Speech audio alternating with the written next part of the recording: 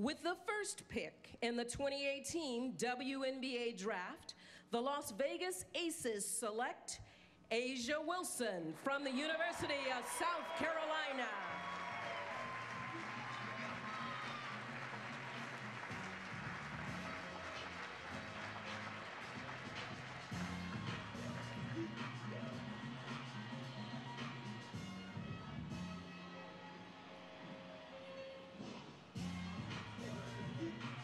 Well, exactly as we expected, A'ja Wilson will go to Las Vegas. And all year, she's been the most dominant player in women's college basketball. So no surprise. Sometimes coaches and GMs are concerned about toughness and physicality and strength.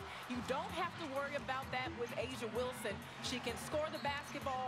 She can rebound out of position. Lisa Borders wants to see passion. Well, that's what you see when A'ja hits the court. And A'ja Wilson, not many players, not many bigs can put the ball on the floor like A'ja Wilson. She's a solid defender inside and outside. That will help her at the next level.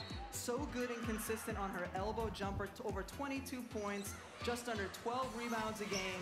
She's improved her right hand, Ryan. You talked about her being, being lefty. She's improved going to the right. This young lady is very, very talented and has a high ceiling. She's going to get even better. Yeah, one thing we also know is that Dawn Staley can prepare players for the WNBA. So she has been coached and showed a high level of toughness that will help in the league. And her first professional responsibility is speaking with our Holly Rowe.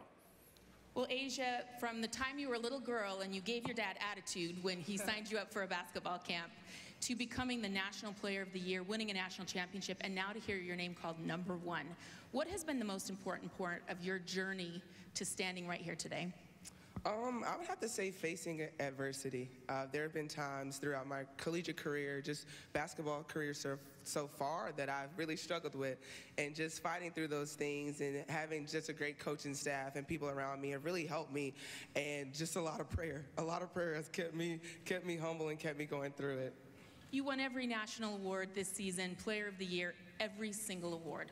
What's left to grow in your game that you look forward to tapping into at the next level?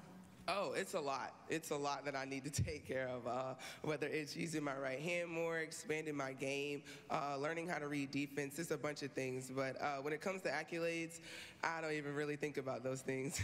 what do you say to the Las Vegas fans who are excited to welcome you to their city? What happens in Sin City stays in Sin City.